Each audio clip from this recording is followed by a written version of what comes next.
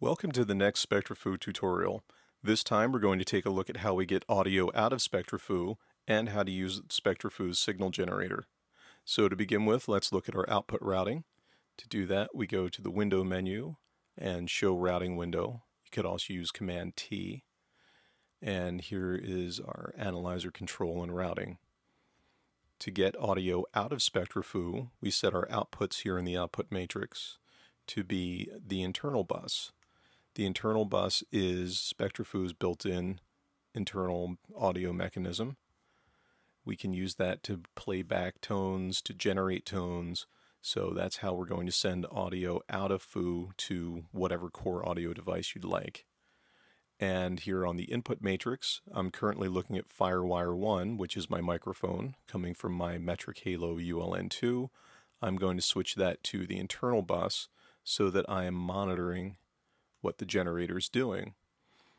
This is not only useful for showing you what it's doing, but this is great if you're measuring the transfer function of a device or a system versus the built-in generator. Um, this lets you monitor your generator without actually doing a physical loop. You could also use this, let's say you wanted to check the performance of an EQ. You could generate pink noise, send that out through an interface through your EQ, bring the EQ back into SpectraFoo, but also be able to measure the generator's output directly so that you have a comparison. So with that routed, let's close up this window and let's take a look at the generator. Here in the Analyzer menu, show signal generator, and here we go. The signal generator is actually nine oscillators, as, as well as a white noise and pink noise generator. The oscillators can be run individually, so we can run them one at a time, or you can run several of them at a time by clicking your Enable buttons. You can also use an oscillator with either of the noise generators if you need. So I'm going to start off by just enabling this. And here we have the start frequency, start level, and start phase of the generator. If I'm doing a sweep, I can specify what I want my frequency or level to be. The asterisk here means just use the same value as the start. In these columns, we set the times for the generator. We can set a pre-delay or a post-delay and set the duration of the generator in seconds. This defaults to 3600, which is a very long generator.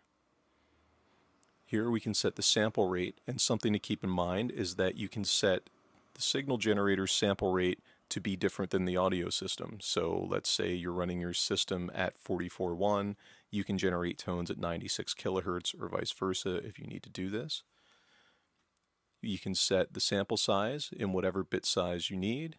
You can dither the output of the signal generator. So if you're running your system at 24-bit resolution, you can still generate a 16-bit tone. And here you can pad the overall output of the signal generator by whatever level you would like. So if you were running three different tones, you could run 1K at full range with the pink noise generator at minus 80 to check your noise floor of a device and still pad both of those by 10 dB if, if need be. So there's a lot of flexibility to be had here, but we're going to start off pretty simply and let's just generate a 1K tone. So here you can see our 1K. It's just barely clipping here at uh, 0 dB full scale. And you can see here that we've got a full 1K tone and it gets kind of wide down here at the bottom at lower levels. This is, you know, minus 60 and down the oscillator tends to widen out a bit. So let me stop this. What we can do is we can synchronize the signal generator to the rest of the system. And by doing that, we'll get a much more accurate tone. As you can see now, this is a very narrow 1K tone that's being generated. So if you need the utmost accuracy in the signal generator, you should synchronize the signal generator to the rest of the clock. One caveat with this is that you cannot sweep when you're synchronizing the signal generator. So turn the synchronization feature on only when you're dealing with single tones. You can't sweep a synchronized generator. But you can synchronize for multiple tones. So what I'm going to do now is I'm going to add another generator at 500 hertz and do a multitone. And here you can see all of the interaction that happens when you've got these two tones going at the same time. And we'll make that stop. So let's take a look at doing a sweep.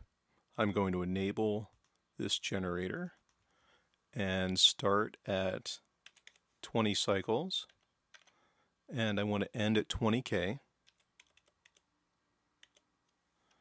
And we'll go for five seconds.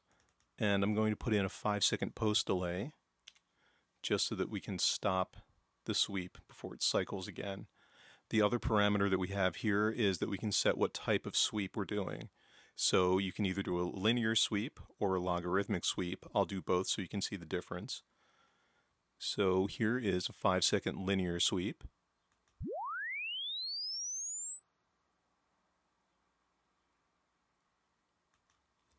And here is a five second logarithmic sweep.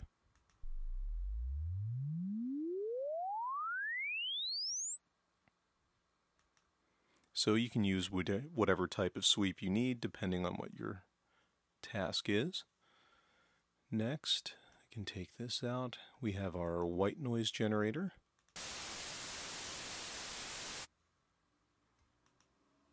And a pink noise generator.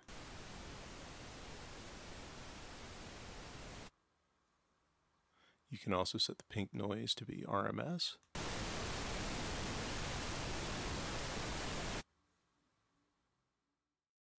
Next, I'm going to show you how the burst function works. So I'm going to leave this on our pink noise generator, and I'm going to enable the burst time. So this is where we set the period of our burst in milliseconds, that's 125, and the period is the multiplier for the gap in between bursts. So this will be 125 milliseconds of pink noise, and then 125 milliseconds of silence, and it looks like this.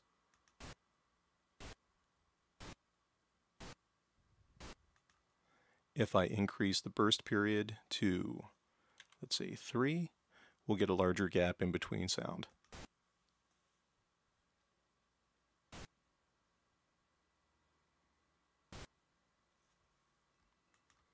The other parameter here is the window function, which kind of rounds off the edges of the burst to make sure that we don't get corner distortion.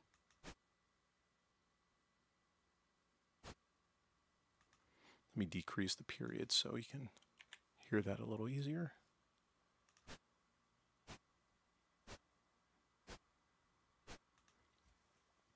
And that rounds out the functions of the signal generator, except for these last few little file management things. For our signal generator parameters, we can save.